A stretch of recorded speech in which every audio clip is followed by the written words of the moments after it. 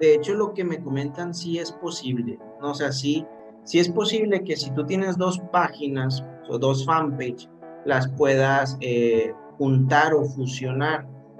Esto a veces se hace porque muchas veces eh, hay personas que administran el negocio eh, y se van y luego tiene que llegar otro y hace otra página o hay personas que, que, están trabajando con una página, luego están trabajando otras personas con otra página del mismo negocio.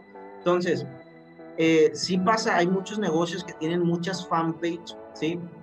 Estas las puedes fusionar. Eh, sí es posible y no está tan complicado. Eh, para fusionar las páginas, permítanme, podemos, por ejemplo,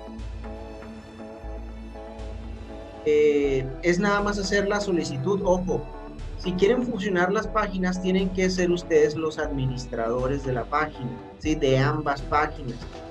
Algo también bien importante es que eh, si ustedes quieren hacer eso, se van a perder ciertas cosas. Por ejemplo, el tema de, las publicaciones se van a perder, se va a perder el tema de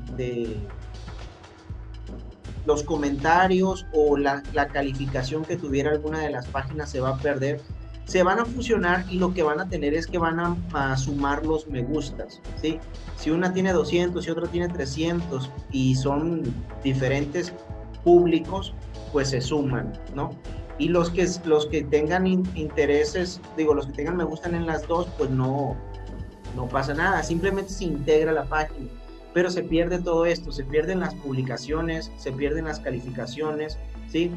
Esto a veces pasa, como les digo, eh, para unir dos páginas, eh, les sirve para aumentar los me gustas, y la verdad es que si el negocio es uno, no tiene caso tener tantas eh, fanpage, ¿no? Como lo he visto mucho en el caso de, por ejemplo, de, de, de Eduardo, ¿no? Que tenía tres páginas del mismo restaurante, no le veo sentido pero miren, es muy, es muy simple. Es, podemos conectarnos a esta liga que es business.facebook.com diagonal page, diagonal merch, eh, así como lo están viendo en pantalla. Él les va a pedir que ingresen a su Facebook o al, o al, al usuario de Facebook donde tengan ustedes eh, esas páginas. Recuerden, tienen que ser administrador de ambas páginas. Eh, ya nada más ingresan y les van a pedir que elijan las páginas, ¿no? Por ejemplo, voy a yo tratar aquí de simular, este, selecciono una página y luego pues selecciono la otra.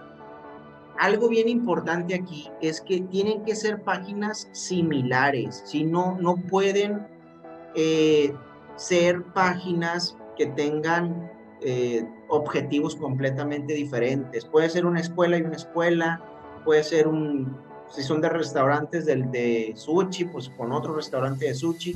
A lo que voy es que no vas a, fusionar una escuela con, con, un restaurante de sushi, ¿sí? O sea, no pueden ser diferentes. Incluso, en teoría, tendrían que tener un nombre similar, similar, porque muchas veces Facebook lo revisa y si no tienen relación, no, lo va, no los va a dejar lo importante es que al hacer esto no hay marcha atrás. Es decir, cuando ustedes inician el proceso, porque es un proceso, eh, yo por ejemplo aquí selecciono las dos páginas y si lo doy continuar ya no tengo marcha atrás. Es decir, se hace el proceso este, y ya no podemos recuperar una página que hacemos de que la fusionamos con otra a todos nuestros usuarios o las personas que siguen la página les va a llegar una notificación de que la página pues se ha fusionado, ¿no? Pero básicamente es entrando esta liga, ustedes tienen que ser los administradores de ambas páginas, tienen que tener nombres similares y el objetivo de la página o el negocio tiene que ser similar, si no Facebook no los va a dejar.